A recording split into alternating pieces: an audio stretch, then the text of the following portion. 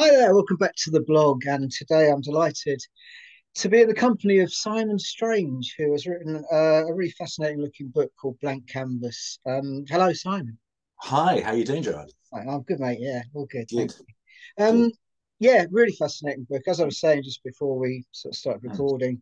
I saw the blurb for it on a website, and there was one bit in particular which I'm going to read that um, really st- really sort of stood out to me, which it says, Does modern day music education suffocate the soul and inhibit the impact of the bohemian artist?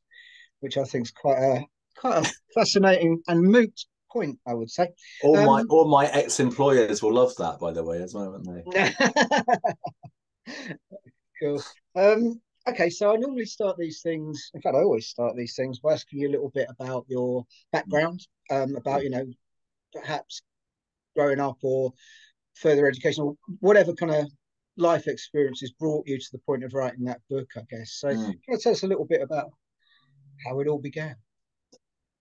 Yeah, well, I'm I my parents, my dad actually just died this week, actually, which is like oh dear, sorry. Yeah, but he was he was 87 and he was he died peacefully. So it's kind of like it's a celebration really more than a you know.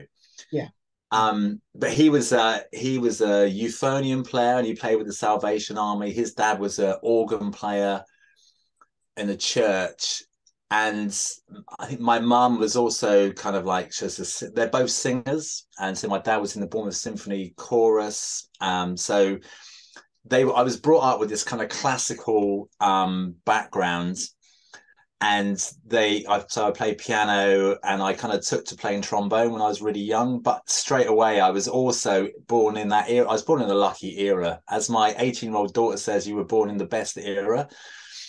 Pre-internet just when that explosion of subcultures really took over. So I was born in 1967 and I think I was born the week that um uh, Sergeant Pepper was released. So it's kind of yeah I feel like I had Sergeant Pepper coming out of my head actually, because with the brass stuff and the kind of pop stuff and the creative experimental production. So I think I followed all those kind of elements through through my um, career. But as I've always been into music, so I I've just really kind of played in all kinds of areas of music. I played in orchestras, I played in jazz bands, I played in big bands, brass bands, but then I was in punk bands as like a keyboard synth keyboard player, and I I was in. I'm actually. Re, a lot of my old bands seem to reform. So like every so often there, there's a refor- reformation on my old band. So there's one reforming on Sunday, which is like um, a hoedown kind of hillbilly band. Um, so basically, I've had a really, really eclectic. I had a naturally eclectic music thing, I, and I think because of my environment, being around music, but also the teachers that, that I had. I think that's the same for a lot of people. If you have the teachers that really inspire you at those young ages, then you kind of you kind of follow that. So I remember at school there was a really good jazz teacher, so we played a lot of jazz, and it was just in that period of, of punk as well. My brother was a year older, and he was into the Damned and the Sex Pistols, and I think I was like a year or two, bit too young for punk in a lot of ways. So I was like ten, when punk really hit.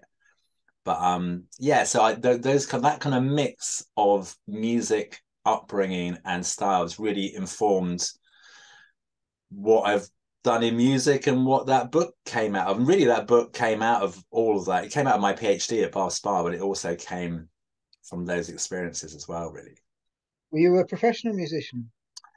I don't know what that means, but I think getting did, did you uh, earn enough money not to have a, a job? I suppose. Yeah, but I think that's the whole point. At that time, you could kind of you could do it, couldn't you? I think that, that's one of the points I make in the book is that in the seventies, eighties, you can there was squats, there was funding for there's you know you could go to art school and get a grant, and that was more than you got on the dole.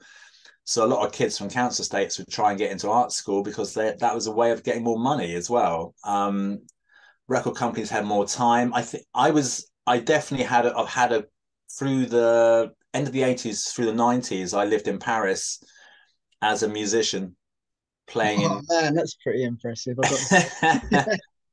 yeah, it was. Yeah, I think I was. I felt like I was dreaming most days. I didn't have lots of money, but I I lived as a musician. I lived a life as a musician for like three years. So yeah, yeah, I think that's yeah. I've been a producer as well, so I've been a professional record producer. Um, so yeah, yeah, a different, at different points, definitely. Yeah, yeah. Wow, you lived in Paris as a musician. That's just yeah. kind of fires off my imagination, truthfully, and also sort of romanticism. Yeah, it was. It was a really weird. I always think back to the moment when that happened because it was a mate and I. We both bought like um, well, we bought a camper van together, and it was just like we had really good jobs in London, and we just like one day decided to leave. And it was the last minute we packed our instruments, and we ended up kind of like busking around Europe, and then ending up in Paris and getting seen by. I was just spotted by someone in the street who was in a major band in France, and they just said, "Do you want to come and rehearse?" And I basically joined the band like that afternoon. So um, yeah, it's yeah. If you wrote a book like that, people wouldn't believe it, would they? I uh, know. To be honest, my next book includes includes this. So yeah, oh, I'll make a note not to believe it then. yeah, yeah, yeah, yeah. I think it's the yeah. I've always wanted to write the book that I'm writing I really, I really like the book that I wrote, but I'm really enjoying the book that I'm writing. Which, What's that one about? The new one then? It's a, it's about, it's really about that. It's about my di- different music journeys and different scenes, but how I was not necessarily a major part in those scenes, but I was a part of major scenes. So it's part of the Paris punk scene, part of the Glasgow um, indie scene, part of the Bristol sort of trip hoppy scene, part of the London jungle scene, part of the the Bristol eclectic scene that followed um, trip hop. So it's being being knowing musicians and being in these scenes and being part of the interconnection, but not actually, you know, being a famous name. Yeah, is really what I'm interested in, and so it's my own personal journey. I can write about myself and interesting story, you know, my own stories, but I can also I'm going to interview the people I was I was around basically, and just kind of see what they remember and what they feel about the whole the whole thing. So that's a really eclectic yeah of, of sort of scenes to be in, isn't it? Really, more more than most people, I would suspect. Really. Yeah, but I think that's always. I think that's because I had that when I was growing up. I think I'm naturally. I'm a trombone player, really, and you can play trombone. You know, I was brought up playing ska and reggae and funk as well as the orchestral stuff. I still I and I play Latin, and I was in a you know I was in a punk band as a trombone player. I'm in a hillbilly band as a trombone player. So it's like you can. What, you, what was the punk band? I must I must ask. The punk band, I can't tell you what their name is. It's too bad, really bad. it's not anybody I'd know then. No, no, no, no, not that one. No, the but the one in Paris was called um Chihuahua. They were part of um like Mano Negra and Les Negresses Vertes. So two of the sort of main bands in Paris. They were kind of like offshoots of that, and they used to be part of um Circus Archaos, which was um like in a kind of a crazy circus that toured the hmm. UK in the eighties, nineties. So um yeah, I remember that. Yeah. Yeah. So it's that band. It was yeah that's the band I was in. Mm, cool.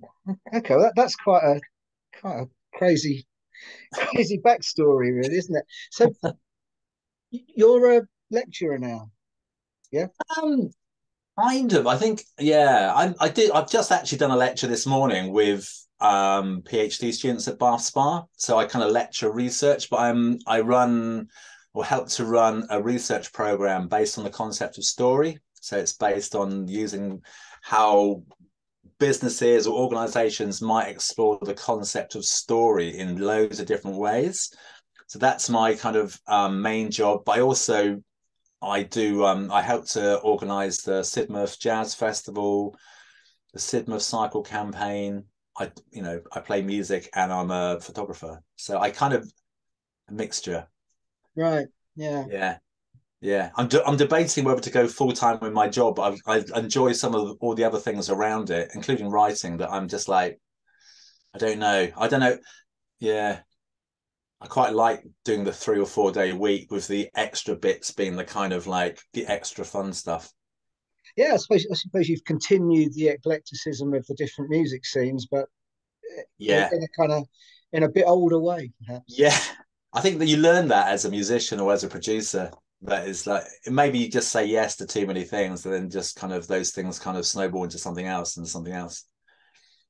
Yeah. When you when you hmm. say you sort of done all these different kinds of music, jazz, mm. through to punk and so on, through to trip hop and all that kind of thing, do you mm. sort of have an overview that it's all pretty much the same thing but with a different hat on, or or do you see real sort of differences?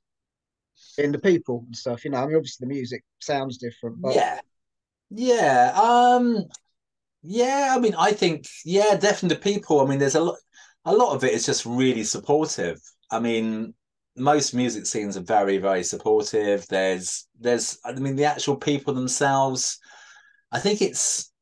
I think it could be. I mean, it's it's not easy being a musician. Yeah? If you want to, you know, that's that's what I think when I with that quote you said at the start. It's not if you're going to go to music school, it's not it's not an easy kind of it's not an easy thing to choose being a musician because it's really really hard to make money. So I think there's always an edge to being a musician, like a fragility maybe amongst musicians, which is why a lot of die die young, drugs, drink, problems like that because it's like it's a calling for people and it's a kind of creative expression but it's it's really really difficult to make you know to make ends meet. So i think it's that you know like i said i'm i'm still debating the the you know how to balance the work life fun kind of elements now. And i think it's i think that's an issue for for for musicians growing up you know family pressures. You've got university fee pressures you've got cost of living pressures, all those things. I think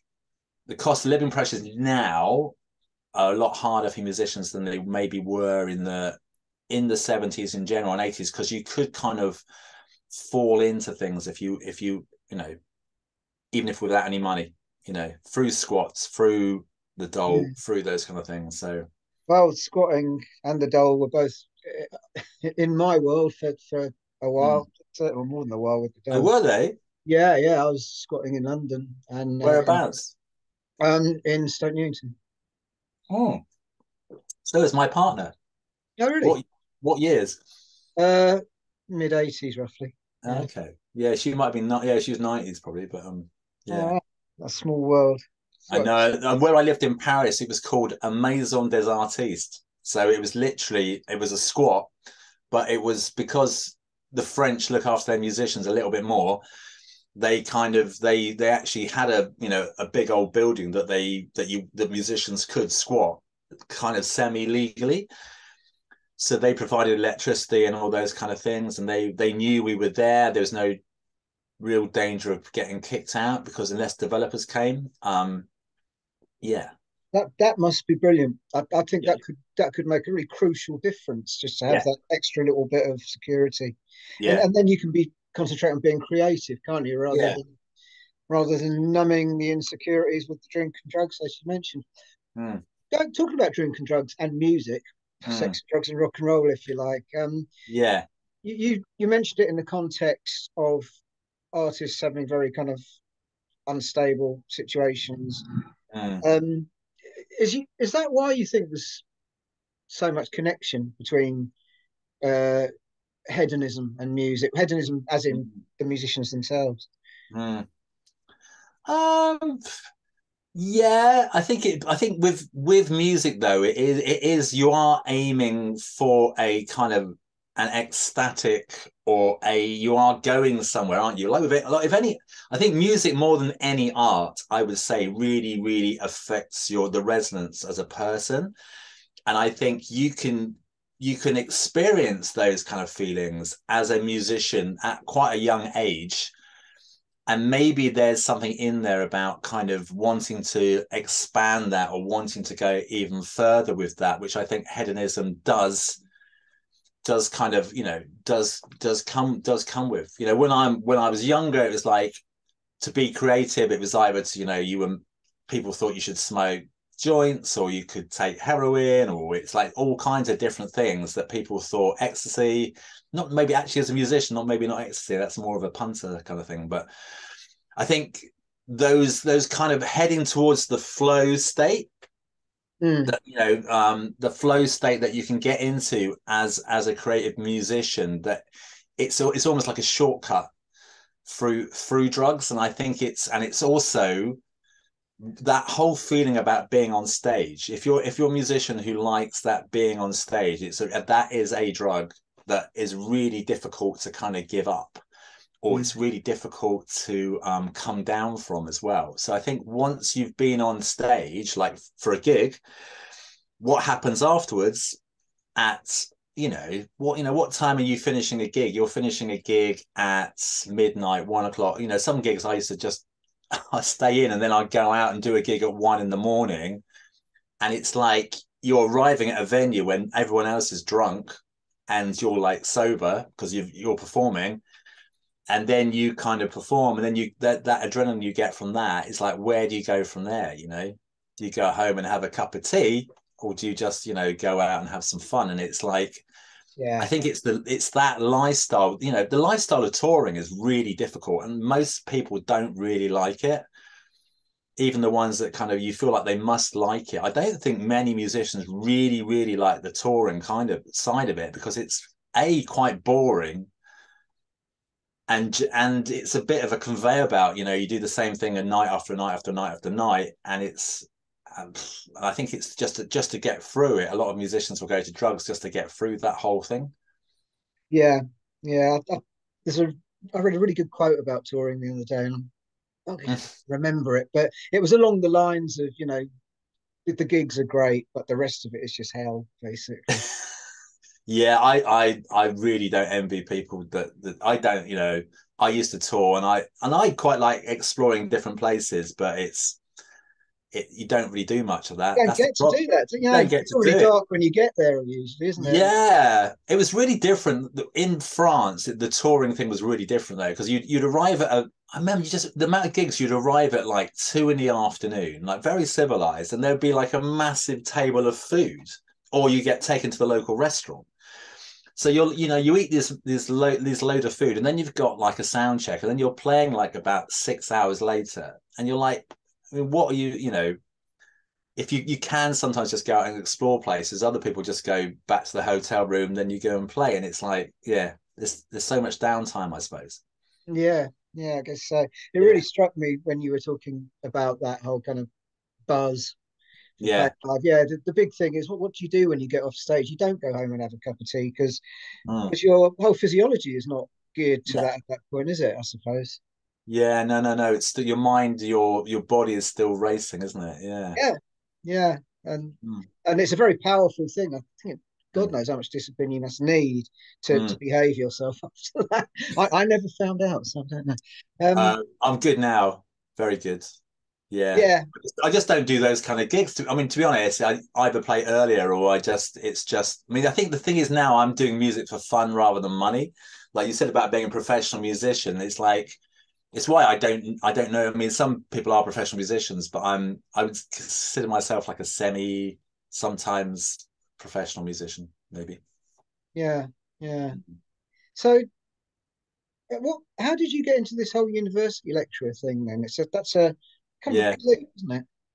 Yeah, it was like um, I was working. I worked in music technology, kind of like for companies like um, turnkey and sound control. So the companies that sell equipment, and I got into that in the like the mid '90s, and I just got bored of doing that. And I just I've always been into education stuff. So I kind of, when I was in Glasgow, I used to run um, a, sc- a little self developed school for unemployed musicians in the studio, teach them production, get them in recording um, and stuff like that. So I started working as a mentor for New Deal for musicians. And then I started, I was a technician at a few schools in just near Bristol. So I just, that's the first sort of way in. And then I became head of music at Bath College. Or I, I think I got a job first within the music department, then became head of head of music at Bath College. And that was really, really interesting. That was I think I arrived at the time in the mid 2000s where because of the Labour, I think the Labour government had input quite a lot of money into FE, and we arrived at Bath College. There's a few of us arrived there independently, didn't know each other, and we just hit it off and were quite. We were into kind of expanding the people that were learning music. So we were into kind of getting like the hip hop groups, or we were into getting kind of like eclectic people who hadn't normally done music education at further education level into the into the college and we were also interconnecting them with radio stations, studios, venues. So we created a whole kind of um, company within within the in the college called BA1 Records.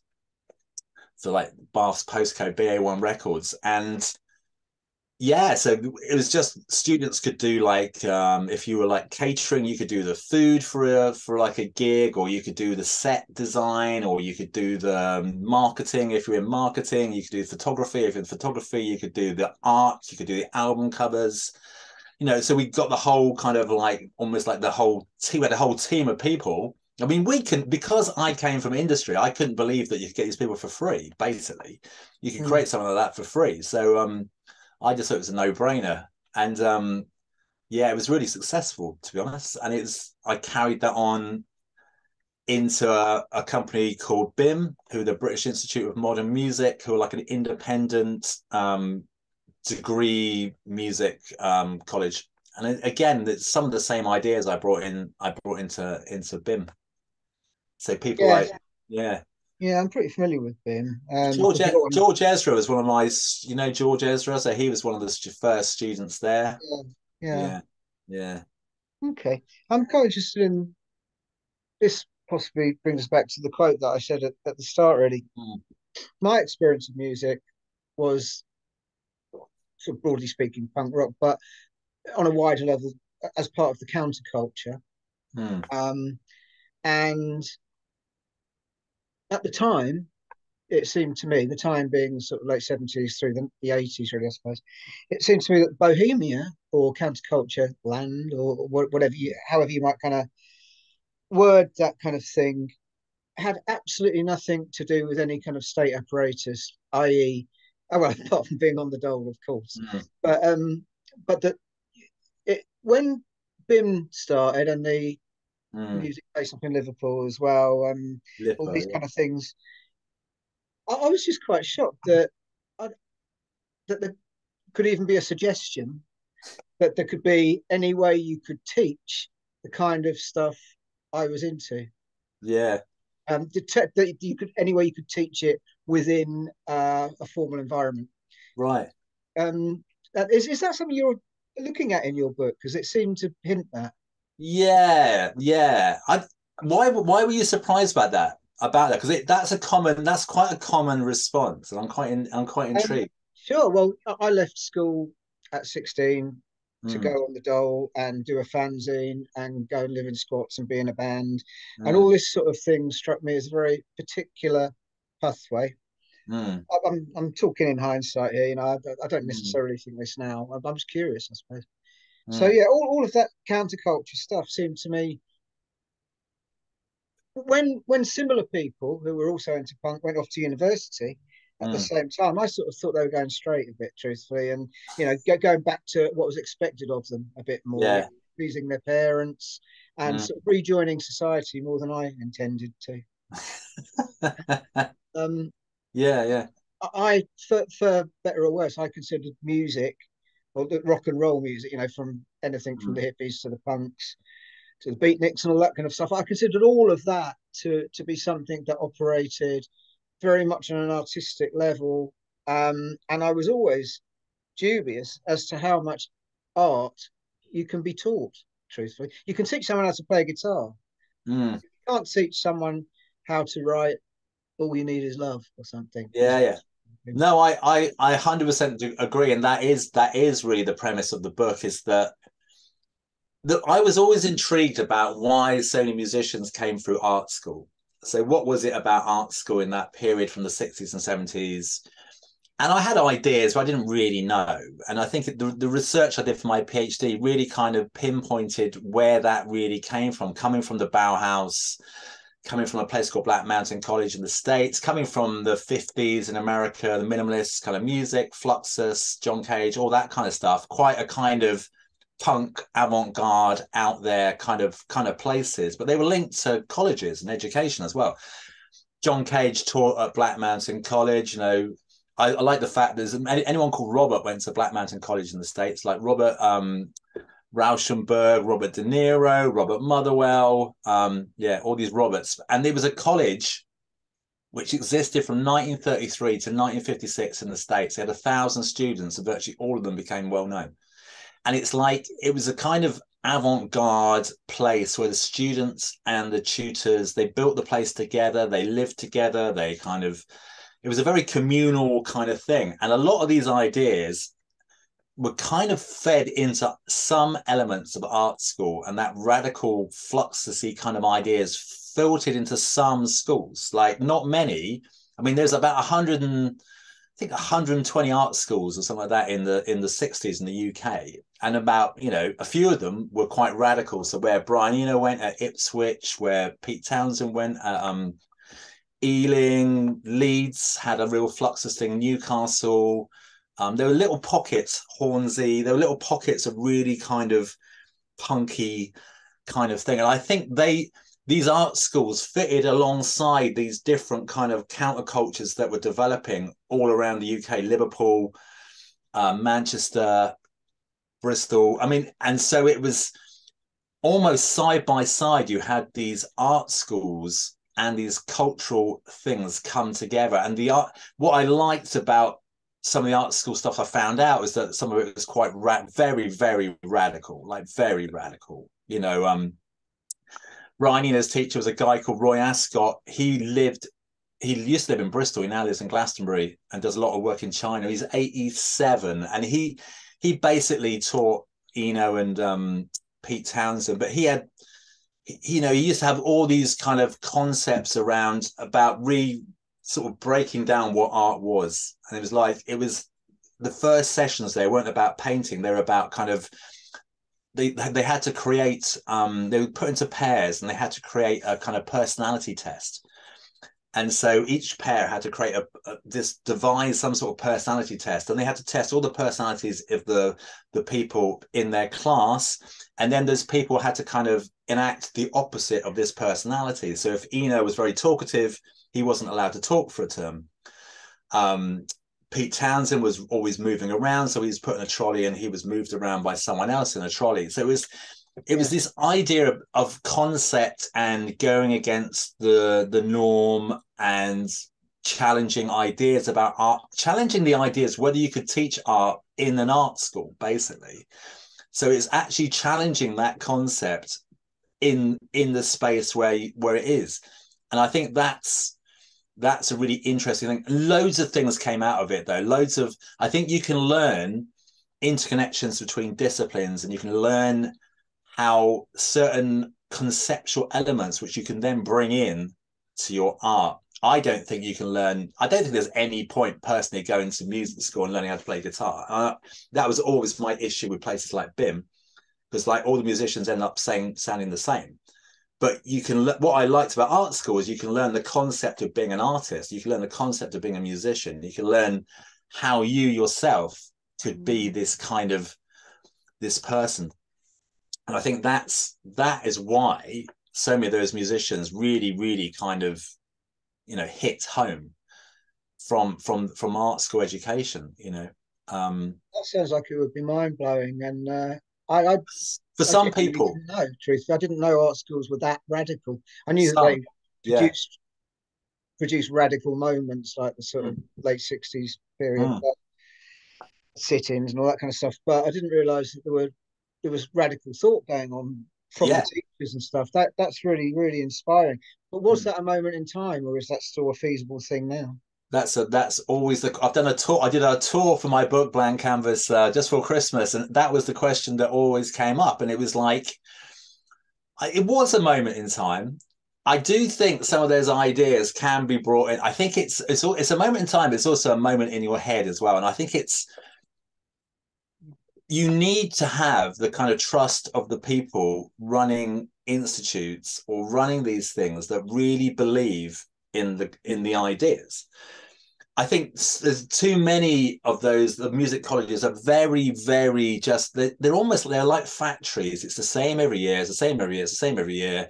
There's there's good stuff happening, but it's not really challenging at all. And I think you just you need to have people. The system is doesn't help, but I think somehow you need to have people that are willing to challenge concepts and ideas. I think, and it's it's that. I I mean, I know in my university at Bath that the, even the the people who thought they were radical art teachers, and it's always the art teachers think they're radical, then had to think about their practice and then realized they weren't being radical. And I think there's it's just that there is that conceptual idea. It was definitely easier in the 60s and 70s because it was everything was new, everything was fresh. There were still a lot of hoops to jump through, like you have nowadays. And you did have that. I think the the main thing is always going to be about finance. You know, I think you could experiment in the sixties and seventies in art school. You know, if if you and I were just kind of going like, I don't really know what to do, I could go to art school and see what it's like. It doesn't really matter because you you know you're going to be financially fine. Whereas now, if you did that, you know, you're going to be like 9,500 quid in debt. So yeah, it seems like it seems like economics has been used to shackle yeah people's freedom almost really. I, but I don't think that's always going to be the case. I, I really don't think that's always going to be the case. I think it's bloody obvious, and I think it's like it only takes a change of not necessarily a change of government, but a change of concept within government that that that that would be different you know universal income um, again and uh, realizing the the importance of artists having that kind of that space it doesn't take you know a mega brain to really work that out so I, I always believe that those things could happen again personally i don't think it's a continuum where it goes like that i think it just goes in waves so it was a moment in time that time will come again possibly I, I, I, do hope. I do hope you're right. It's, it's nice to hear. Well, it has to be, doesn't it? Really. Otherwise, you just, you know, it's like saying that music hasn't isn't any good anymore. It's like, yeah, there's some there's some thing behind that, but it's also the fact that it, that's also not quite true either. And it's like, and things in the future that's going to change as well. You know, there will be new music, there will be new ideas, there will be new punk, there will be new jungle, there will be new grime and stuff like that in the future. So will there be new cultural movements, which is essentially oh. what those things were? Because that's that's obviously yeah. those things existed way beyond music, didn't they? You know, there was a yeah. whole there was a whole package of which music yeah. was just a part, really. Because yeah. you could also look at, at the whole kind of cult, uh, youth move, youth cults as a moment from perhaps the Teddy Boys to mm. whenever you decide the cut off point is. Um, yeah. In terms of having kind of any mass effect, it, I, am probably I'm probably going to come over as a bit of an old fart here, quite frankly, because I don't keep up with new music. Um, yeah. I, I, just don't have any interest in doing that. Um, so I don't really know, but it seems to me that a lot of youngsters these days, when they kind of feel a bit different, feel like they don't fit in, the sort of people who may have gone to art school perhaps mm. or got into being a hippie or a punk or even a teddy boy or whatever, it seems that those people now from from my far off mm. vantage point, not knowing any young people, it seems that they buy into retro stuff. Mm. You know, that you still get teenagers becoming goths or becoming mm. punks or becoming yeah Ever, you know, Nirvana fans and so on and so forth. Am, am I anywhere near the truth there? Bearing in mind, you know, young people and I don't. I know some young people. Um, I think that's. I think there's a natural retro mania. I think that's a natural it's a book by Simon Reynolds. It's very good. Um, there's a natural position to that, but I think it's. I think you have to look across cultures, basically. That might be true across some of our cultures in the UK. Um, you know, I think I, I really think there's a really strong black movement in music. There's a really strong cultural music in Asia. Um, in Eastern Europe, in South America, um, and you know, I think there's there's loads of it's, it's, such a mash of different cultures. There is loads of amazing music going on. I think it's just I think there's actually so much music that, that you just can't see it or you can't be bothered to see it. And I I think um and the problem is with what used to happen was the good music used to be really easy to find. It was the stuff that was in front of you. And people like John Peel, Annie Nightingale, um, all those kind of people, um, they they, you know, Kid Jensen, Kid Jensen, possibly. Yeah. They used to cut yeah. Yeah. Yeah. He was yeah, all let's, right. let's be generous. Janet Janice Long. Um, they used to actually those gatekeepers in a way had an easy job because you had like really defined this is pop really and this is the other stuff and they they and they were given airtime to do that whereas now there are those kind of djs there are those kind of things but it's it's just so confused the boundaries between pop other music and you've got all that retro stuff and yeah i don't know i think it's I think personally there is too much looking back. And I, I quite, I mean, I'm quite a forward-looking kind of musician, so I, I'm, I've always been like that, and I quite like future concepts and future ideas. And there's, I think there's a, I like a lot of stuff on the classical music, electronic music boundary, which I think is really, really interesting, and that's very cross, you know, across different um, global perspectives as well. And I think yeah, yeah. Although I must say that my daughters are probably into quite retro stuff, really. my youngest one is, but not my older one. Mm, mm. That's interesting. I think it seems to me that one of the big changes, because the internet, has been um, that music doesn't get a chance to coalesce like it used to. Mm. Uh, you know, Yeah. there's in a way everything that the punk rock DIY ethos fought for is here, but what a Pyrrhic victory it turns out to be because anyone can put a Mm. song on YouTube, but getting more than five people to listen to it is, is this the unforeseen issue. Yeah. Perhaps, now. Yeah, and yeah. uh, no, the, the internet is again. That was another thing that came up in some of my talks was that the internet. I, I find it's really interesting. You know, the internet. It's like I love coming from that area, pre, that era pre-internet, because I think it's really fascinating being born in an era pre-internet and post-internet. I can't imagine what it's like to be born born just post-internet. You don't know anything before the internet.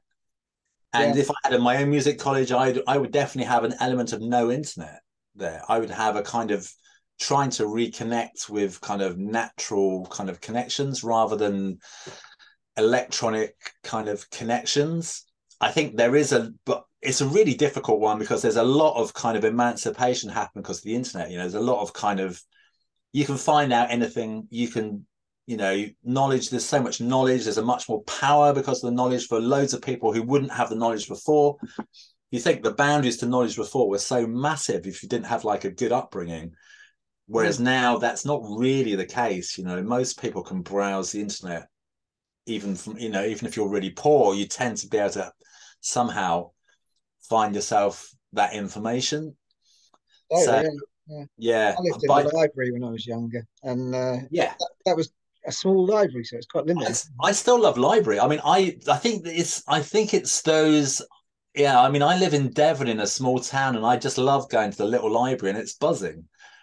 And I think that's there's something about that connection which you don't get on the internet. It's just not as wholesome. It's not as wholesome a space base of the internet is. it always feels very, very fast, very, very there's no there's no kind of tactile element about it. So you know the, the tactile thing you have with an LP or a tape or a mini disc or that those great things you don't get that with a product you don't get that with anything. So for a young person nowadays it must be like god i mean the retro thing is so kind of tempting because it is actually physical. There's a physical you know otherwise it's just like it's just something there you know. You might have your kind of uh i you know you've got your kind of earpod earpods or you've got your kind of phone computer And of course, the the whole economy of music has changed as well, hasn't it? Ever since downloads became available. So therefore, these kids at BIMM or wherever, um, Yeah. they've got to try and survive in a world where making money from being a musician is harder than ever. Yeah. There's, I don't know how, I don't think that, I mean, that's what I don't like about those places as well, is that I don't believe there is a career in music that you can go through that way. You can have a career in music by being a brilliant artist. You can have a career in music by being a brilliant at marketing. You can have a career in music by being, you know, great at one of those elements of the music industry. But, you know, yeah, there's to make money as a musician was always hard. Like was always really hard, but it's like it's a lot easier then than it is now.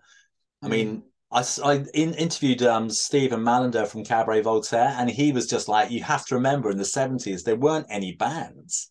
I mean, if you're in a band, you basically got signed. Because if you could get it together to get your mates together and actually create some music, you know, there were so few bands that the record companies would kind of like sniff you out straight away. So, whereas nowadays, obviously, you know, there was something like 60,000 albums released a day. Really? Yeah. That's insane, isn't it? It's insane, isn't it? And if you think, yeah, it's mad. It's just crazy. But that that's because it's because you got you know if you've you got worldwide, like you say, you can release an album like that. You can just go, I'll just do it. I just put it on the internet. There's no there's no way, you know, there need I think there needs to be some way of of just reducing that. I don't know how you do it though. I don't know how you do it. Well, the genie's out of the bottle to some extent, I would say. Yeah, yeah, and you know, I've like you say, it's always that punk thing about everyone can be a musician is really, really good.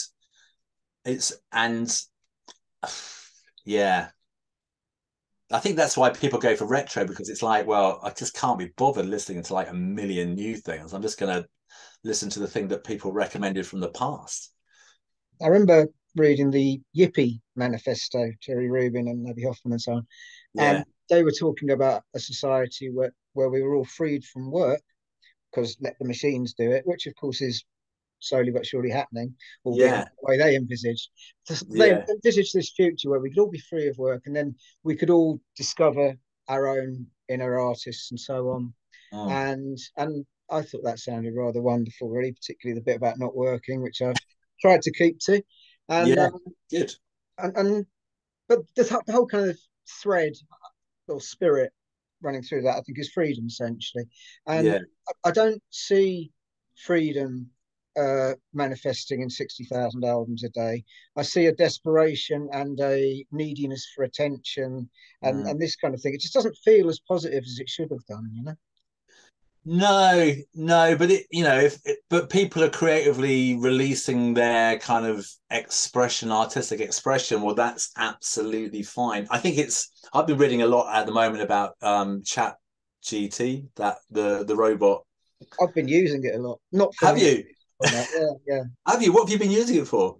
Uh, writing articles and just seeing how well they can be written. I'm not using it in an active way, but I'm investigating yeah. a lot how good it is basically and i tell you yeah. what it's pretty good it's pretty good yeah it's a bit wikipedia like but at the moment i think but it's from what i've well from what i can gather it seems a little bit wikipedia it writes like it's a little bit wikipedia and it lets but it's good yeah yeah yeah, yeah. it's yeah there's a lack of humanity and there's a lack of personality yeah. but but you know if you wanted to sort of put together a textbook on something then you, you, probably wouldn't need to give it much of a proofread, quite frankly. No, no, no, and it's you know you could get it done in a few days. Yeah, and this is this is kind of the way the future is, isn't it? Whether we yeah. like it or not, and clearly there's a lot to not like about yeah. it. And this th- always ties in with music, doesn't it? Really, it does, and I think it's like you say about the genie out of the bottle. You just it there needs to be some way of really maximizing how it's used because it's a really it could be a really really good thing what I like about imagine like lawyers, you know, lawyers doing all spending hours writing papers and doing all that thing. You know, this kind of thing is just going to do that for them. You can yeah. see that's not that far ahead. You know, lawyers are going to be like, "Oh my god, what do we do?" Um, Can't help a little smile at that thought. Yeah. I know. I quite like that. I really like that thought. But it's true, isn't it? You think that's one of those professions where really it's just a few rules that they're going to learn and then yeah the robot's going to be able to kind of like really get to grips with that Mm, i mm. think yeah i think i think it's really interesting in in education higher education because i think a lot of universities are really worried at in the small in the short term obviously you know you can write an essay using chat gt and you get a pretty good grade probably um Yeah. at undergraduate degree level so um i think there's you know I think it's a really good thing to use and to and as a starting point, and then you can manipulate it and you can change it yourself. I'm going to start doing that. I'm going to definitely look at what how it writes and what, how it brings ideas together and see if that gives me another perspective on something. I think it will change how um, universities assess work. I think they will have to do things which are much more personalized. So you'll have to do a lot more kind of talking and to camera or to to questions or to pencil. There's also Yeah. a connection here. You're saying you're a music producer, which obviously I take to mean that you used a lot of music software. Um, yeah. Hardware in the old days. Uh, yeah, sure. Um, that was also letting the machines do it, and it was also met with a great deal of resistance. Yeah. Um, Yeah. Yeah. And so there seems to be a sort of a cycle here, really, Yeah. a psychological cycle at least. Yeah. You know, new stuff comes in, old people don't like it, Yeah. and but tough because it's happening anyway, essentially. Yeah. Yeah, no, definitely the yeah, the software thing was definitely yeah, definitely that. I mean, it was yeah, I I remember when samplers first came out. So, you know, you got the 80s, you got the kind of Fairlight samplers that people like Trevor Horn was using with Frankie Goes to Hollywood and um, Grace Jones and all those kind of artists. And it was like the musicians were going like, "Oh my god, you know, we're gonna we're gonna be out of business. We're never gonna have any work." And it just wasn't. Didn't happen. It didn't happen. It was just like it was just another tool, another thing that if you knew how to use it right, it just it kind of expanded the idea of what you could do with music, what you could do with sound, what you could do with time. Because what you used to do in the old days was like you used to spend, you used to sample something, and it used to take you hours. Now it's like two seconds, you know, and it, that's the, it's a massive difference. And I think it's just it just gets you somewhere. It's probably why you've got sixty thousand albums a day because it's so quick. Yeah, yeah. yeah. So I mean that that's where the problem is, and you can have like sixty thousand essays done on Nietzsche as well, which are pretty good, and that's the problem. It's how you kind of compartmentalize or find the good stuff, or how that is kind of filtered. That's the that is the that is the issue. It's also a move towards conformity, isn't it? Because if you have 60,000 essays on Nietzsche that it's very unlikely any of them are going to say anything controversial or different Yeah, and so on. And that kind of Yeah. ties in with, with everything else, doesn't it? The way everything is sort of coalescing around Mm. radical thought, like it used to in art schools or youth, youth cults, yeah. coalescing around the centre. Yeah, I think, but I think there is still radical thought. It's just maybe it's a bit too right rather than left. Um, God, yeah, that, yeah, I suppose you're right. Yeah. yeah, I mean, it's yeah. I still think there's a place for. I think there is a place for radical thought actually on both on all on all sorts of sides. But um, yeah, yeah, I think you're right. Like the more you have a mass of things doing the same thing, the more it goes to the center. The more things become kind of less distinct. The more things are just yeah become very very samey very similar it's probably why the world should just kind of explode and we can start again really Well, cheery, cheery we might be closer than we think there, mightn't oh yeah it might be closer than we think yeah i think i'm trying to find way i think with the robot or the chat gt thing i think it's there is there is definitely positives but i think you know somehow it has to be kind of um i've seen people in he already embracing it in a good way and i think that's quite that's really positive Mm, mm. yeah It's it's a very bizarre thing. I've been using it just for a laugh, really, for art as well. So I did, uh, yeah, and I did draw draw me a picture of David Bowie as a punk rocker in Cubist style, and and it came out with stuff that was way better than anything I could do. Not that I'm an Yeah. artist anyway, but but I felt quite dirty, you know. I felt like I was yeah being pretty dishonest, really. So it's it's a sort of weird sort of psychological relationship with it as well. How do you see Yeah. it being used positively then? Yeah, absolutely. Because it's because it's about the concept, isn't it? You're the one who's giving it the concept. And if everyone said like do David Bowie in a cubist style, it's yeah, in a way it's like being a producer. You go like, I really want that sample from that 1960s record. You're the person, I'm the person going, I want that sample from that 1960s record. No one else is. Yeah. I'm gonna, okay, you know, if the the the, the robot's going to automate it but then it's up to you to kind of create to make the originality within that. Because if you're just doing that then everyone everyone can spot generally you can spot when it's just automated. Like like within music if people just kind of chuck in samples it doesn't sound great and most people can see that whereas if there's a lot of thought or there's real kind of context or there's real kind of subtlety or there's real kind of other things put in there I think it just there's more um yeah. I think people I think people do recognize that. I think people are I think people are definitely cleverer than they kind of like uh people are made out to be. Perhaps they recognize it on a subconscious level yeah definitely. connection isn't it ultimately music? Yeah. and yeah I think I think people do. Yeah yeah absolutely. So what do you what do you teach your students then what what do you try and get in their heads how to find chat GT no um, give them the website and then go on with it. Yeah, give them the website and just go with it. Um, yeah, yeah. No, I, I am very much about kind of um, self, like finding the self yourself, finding how to be creative in collaborative groups, how to explore. I mean, my book's called Blank Canvas. The idea is to kind of go, seeing what you can produce without maybe without thought as well sometimes about that I, I do a lot of writing where it's done without thought like automatism kind of ideas so i trying to get people to really explore where their true creative kind of side is is what i'm really most interested in and breaking trying to get away from tropes or getting away from their normal kind of routines, like what Roy Ascott was doing with Brian Eno and um, Pete Townshend. That's that in a way, that's my natural position. You know, as a trombone player, I play in jazz, but I don't like most jazz because a lot of it is like loads of wiggly notes, and I'm a punk trombone player, so I like just one note. You know, if I can make one note, I've done that before with jazz in jazz groups where you get like a saxophone player going, and I just go, and I think, oh yeah, that was quite a good note, though, wasn't it? That was yeah, back. I I just I like minimalist stuff anyway. Mm. So I think yeah, with students, a lot of that is about that, about taking away things. So about minimalism.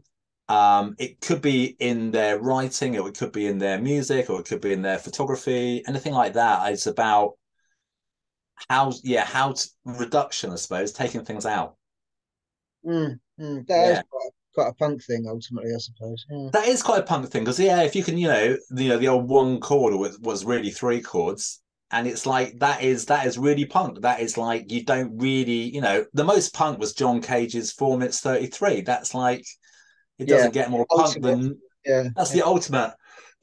that's the ultimate punk record. Although he never recorded it, it was like yeah, maybe that's the fact he didn't record it either. That's even more punk. So it's like it can be it can be performed in any way any way that you want. Do you feel free to disseminate radical ideas then when you're teaching in, in the current climate i suppose? Yeah because i think the thing is about universities you can you still can have that. I mean i know in some universities there's probably some sort of control somewhere but i think in universities are still a place where you can actually just talk about the stuff that you're interested in and the stuff that you that you find so if it's radical it's great. You know i think there's definitely where i am at bath spa there's there'll be a lot of teachers who have a you know will have radical ideas or they will have ideas away from the norm that just encourage students to explore explore definitely. So um yeah i think i think so. You, you know I did do one session where I stood up in front of the class and I just stood silent for four minutes thirty three, and that was pretty radical. yeah, one of one of the students threw a can at another student. I think someone else started crying, and a few walked out. And it's like, so I can't. I mean, that is the extreme in that it's kind of, you know, you can't do that all the time otherwise you lose all your class Sure, yeah, yeah. But i do but i think it i when you said what you do with your students i do get them to try and take over the class and to kind of like do the things that they're they're they're interested in what they want to do. And i'm the kind of i can lead them or i can suggest ideas. One i remember one term i didn't plan anything say like 10 sessions. It was all about culture and music and i didn't plan anything. And all i did was like wait to see who died that week and then to do something about them because Right. you realize that every week like key musicians will die. And it was like you know it was um keith flint from um prodigy. There was uh, mark hollis from talk talk. There was um you know you get there was someone from uh, from the beat. Yeah so you, you basically get like you can you can just mix and match culture just by just by one idea by saying who like you know who died this week You sound like the kind of teacher where if I'd had a teacher like you at school, I might have gone on to further education. And uh, good which leads me to wonder how many people like you are there in, in the education system? Are you are you uh, an outlier, or is it is there a healthy amount? Um, I think we're all individual. I think we're all individuals as we are. Um, yeah, I think there's probably less over time. I think there's still probably teachers of my. I think that is that point about the era that I was born in. There are teachers of my age who who will have some of those, you know, who will be like that. Um, I think it's. I don't know if the teachers coming through now will be the same. I think that's the probably that's probably the worry, I'd say. Hmm. No, it will become a bit homogenized, you know, and I think it, you know, you reflect your, your cultures that you were born in, don't you? And at the moment, there aren't those social, those kind of subcultural groups. Um, Yeah. Yeah. Yeah, and I had it, you know, I naturally, I, I'm just naturally like that through being a producer and playing in punk bands, That's, and that I haven't changed anything from that to how I teach, really. You know, what's it like being a producer? Because that's something I've got no Uh, evidence of at all, really. I loved it. Yeah, I was I was only like I was only a record producer in studios for a couple of years. I basically le- when I left France, my girlfriend and I we kind of like we put a pin in a map of where we wanted to go, and it had to be English speaking because we were sick of speaking French. Yeah. And she put a pin in Edinburgh, and I put a pin in Glasgow. And so we ended up uh, deciding between. We ended up in Glasgow, and I studied um, music production at the School of Audio Engineering in Glasgow. I just got, I got into it in France, the whole production thing, because they're so mad on production in France.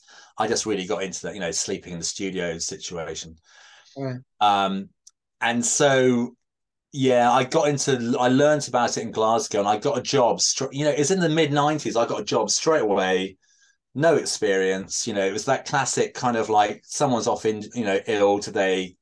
I hear you can you can you know how to produce a band, and I'm going like, uh, yeah, and you just take a risk, and I think that that is that is what came through my book is a lot of those people would take take risks, and I just I naturally took that risk because I didn't really care if it didn't go go well that much, um, and I think that's I think that's the point. Um, but I loved it because you got you got the control of a of the whole sound thing. I still do a lot of um I, I think I, I'll probably I'll probably get into music production more in like maybe a few years time when I've when I you know I think I'll do it again. Hmm. I mean I, I write electronic music and I you know I play in bands and I, I just like the fact as a producer you can control every you can you have the whole sonic palette. Like as a trombone player you just play a silly brass instrument. Yeah. Whereas as a producer, you can you can just kind of like mold and shape the whole the whole thing. So, yeah, yeah, I like and I, I like the fact I like working with musicians as well. So it's just yeah, Really? Blimey. I used to anyway. Yeah, no, I do, I do actually. Yeah, I, I think I think musicians are, are gen- I, generally they're very. I think musicians tend to be quite conservative and quite quiet. Um, I must have met the wrong ones then. I know it's weird, isn't it? I do. oh, There's something about. Yeah, maybe I have as well. There's something. Yeah, I do think they're quite conservative musicians in general. That's Um, interesting. Yeah, yeah. Compared to artists, Um, when you're writing Black Blank Canvas, has it changed you from start to finish? I, have written a couple of books, and they both changed me, mm. not, not in massive ways or anything, but yeah. Did you notice any change in your attitudes, for instance, to anything? Yeah, that's a really good question. Um, I don't, I don't know if I did. Maybe. Um, I think I think it maybe kind of focused my my mind on certain things or my my head on certain things. I mean, a lot of the things was about the process of art creation. So one of my chapters is called process, and I think it's really central to everything that that concentration on the process. Um, yeah, I don't know. I don't know if it actually changed me, but um, I think it maybe changed my idea that I like writing that I'm I see myself more as a writer than I I didn't think I was a writer when I started it. I think I see myself as a writer now I've finished it. Right. Yeah. Maybe you need to do that. Uh, but I, I, I write every day, so like every day I probably wake up to annoyance my partner about six o'clock, and I write for an hour. Okay. Every day. And that's usually just a stream of consciousness, or it's a kind of like, or ideas towards the book that I'm writing, or if I'm doing like you know anything that i'm writing i will i will write towards it and yeah i just like i like that free writing time so that's it's probably changed me that in that way in that it's kind of almost give me that structure to writing every day mm. you know and that's a, the, thing i like about writing over music production. Music production is so time consuming. You just lose hours and days and you know just doing it. Whereas, yeah, when I was in when I was in Glasgow as a producer, my girlfriend at the time was was in Africa and she was coming back and we meant to meet in Glasgow this um somewhere in Glasgow. And I just didn't make it because I was in in the middle of doing a session and I realized about a day later that I hadn't I hadn't met her. I was just so, so yeah.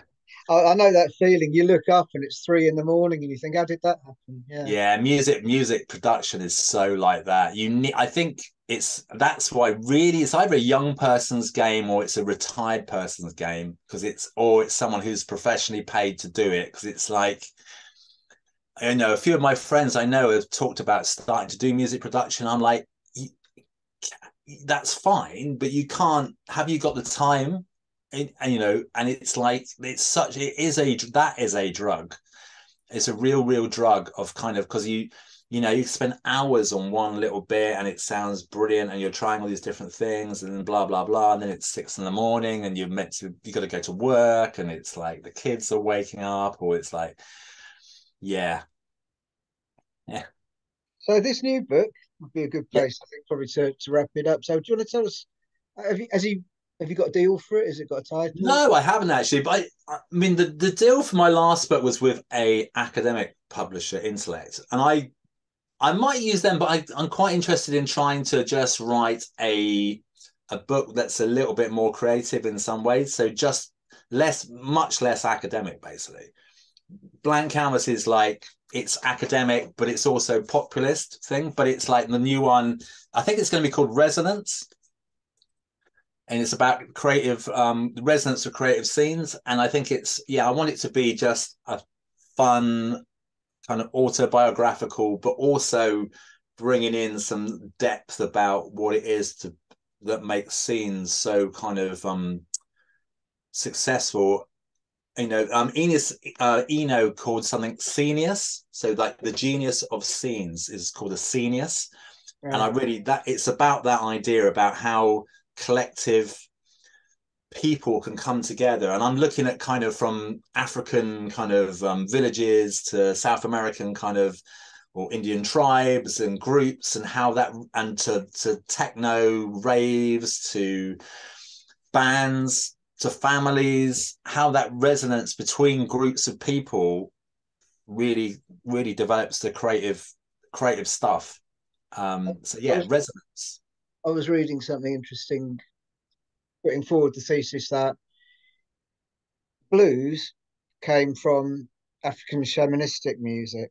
Oh yeah, and and, they, and these kind of big rituals they had with musical backgrounds. Then through slavery, they all relocated. Well, various mm. relocated to America, and the blues came. So you could almost trace back, if you wanted to go down that route, the whole of sort of rock and roll, etc., to shamanism and tribes and so on, which is quite yeah, yeah, yeah. No, you can, you can, yeah, you can definitely, um, yeah, you trace it back. I mean, I, for me as well, I I don't actually see like a lot of people will see modern music as coming from the blues, and I see it as coming from minimalism, just really? because you because I see it as going through that minimalism went to like um that kind of uh thing you had in punk, had in um, post punk, had in new wave, that kind of minimalist, broken down feel that you have in blues, but I, I just see it as a direct connection more more to the kind of um, the minimalist thing. So, so I think you can follow all kinds of different um, things. There's there's a book by a jazz saxophone player called Stephon Alexander, and he looked at how jazz and the resonance of the earth scientifically kind of connected together. So how different kind of like phrases. I think he mainly looked at not Charlie Parker. Um, I can't remember. Anyway, but he yeah he looked at how resonance of how jazz kind of structures worked to how how the how the earth resonated. So I'm yeah I mean I love stuff like that basically. So do I. So do I. I'm absolutely fascinated by the, the yeah solfeggio frequencies and all that kind of thing. Yeah, yeah, yeah, yeah. yeah. Uh, I've no idea how much uh, substance there is in it, but it's a fascinating. Th- yeah, yeah, yeah. But I think there's something about the group resonance, about that group, like when that whole thing in like um like in tribal in tribal kind of groups, that whole thing about collective dance and collective song and collective thing where there wasn't this thing about anyone being a musician or anyone being an artist. It's just that there was a natural kind of feel in the in the rhythmic makeup that people that people had. And that would have very much connected with nature the natural sounds they're hearing around them what they feel as a resonance because they were much more connected to their surroundings than we are Yes, of course, yeah, yeah. And it's like I think I think there's that. That's what I love about music is that natural. I mean, I do a lot of field recordings. I'm I live by the sea in Devon, and I kind of do a lot of like recording different bays, the birds, wind, nature, and yeah. So I'm into all that. Into yeah, okay. that. Like the Cabaret Voltaire dude, in fact. Yeah, absolutely. Yeah, yeah, yeah. No, I've always I've always been into that. Yeah, field recording stuff. Oh, wow. what do yeah, you do Chris, I'm I make electronic music. So I make electronic music under the name of Inochi, which means life energy in Japanese. Right.